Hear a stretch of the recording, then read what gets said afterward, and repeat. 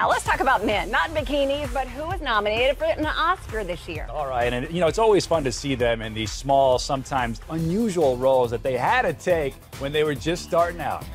Ask me about my wiener. Before Jonah was a foul-mouthed wolf of Wall Street, he was just a weenie. Hey, ask me about my wiener. Hilarious and humble beginnings for Jonah Hill in 2006's Accepted. I hated wearing those suits, actually. I'll say that openly. I did not have fun wearing them.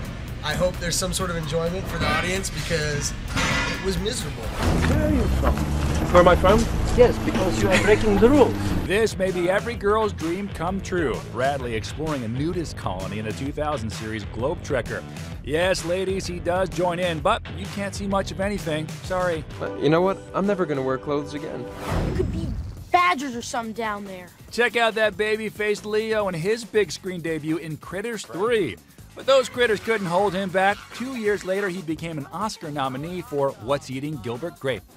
Do you remember what the job was that got you your SAG card? Dazed and Confused, 1992. That's right. Before Matthew was an Oscar nominee, he was taking small roles in films like Dazed and Confused, working his way up to Oscar status. Now here's a fun one for you. Behind the wig and lipstick is Oscar-nominated Chiwetel Ejiofor dressed in drag for Kinky Boots. Actually, she didn't tell me. She was talking to Monsieur Gilliard. I heard them.